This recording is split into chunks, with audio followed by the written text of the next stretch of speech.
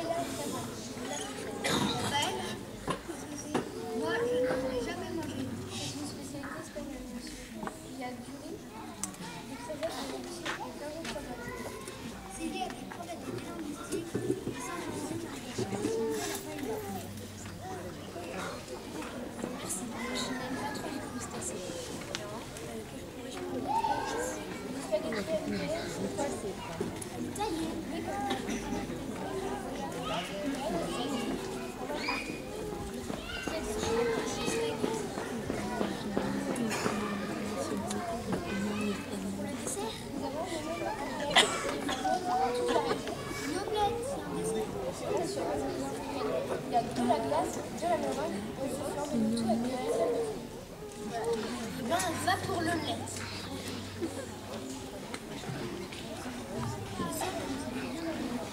Mais oui, c'est bien connu, la cuisine française est la meilleure.